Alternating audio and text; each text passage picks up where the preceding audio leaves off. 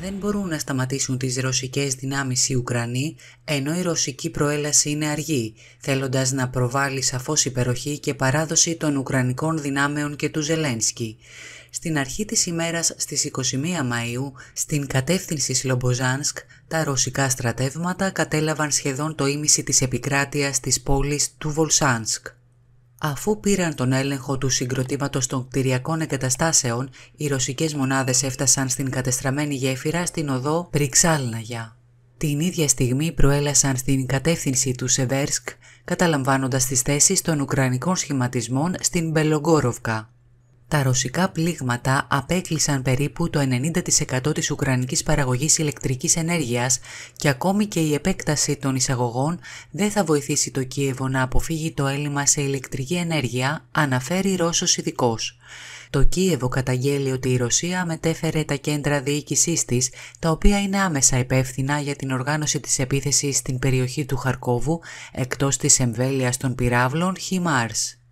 Από αυτή την άποψη, το κύριο επιχείρημα της Ουκρανικής ηγεσίας ήταν η έλλειψη εναλλακτικής λύσης στους Αμερικανικούς πυράβλους, στα μη επανδρομένα εναέρια οχήματα, τα οποία δεν έχουν την ίδια κινητικότητα και δεν μπορούν να χτυπήσουν αποτελεσματικά τα ρωσικά κέντρα μάχης.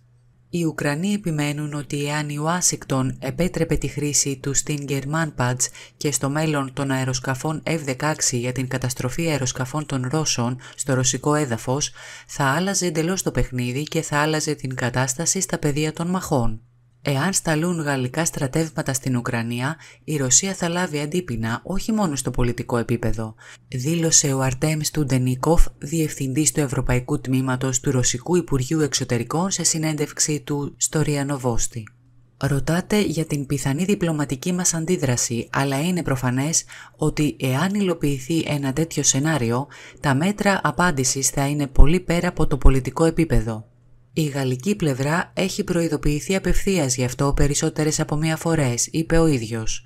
Όπως τόνισε ο Ρώσος διπλωμάτης, η συμμετοχή της Γαλλίας στις εχθροπραξίες στην Ουκρανία θα την καταστήσει επίσημα συμβαλόμενο μέρος στη σύγκρουση, γεγονός που θα αυξήσει σημαντικά το κίνδυνο σύγκρουσης μεταξύ δύο πυρηνικών δυνάμεων στο πεδίο της μάχης. Ευχαριστούμε που μας παρακολουθήσατε και να λαμβάνετε πρώτοι όλες τις νεότερες εξελίξεις, κάνετε like και εγγραφή στο κανάλι μας.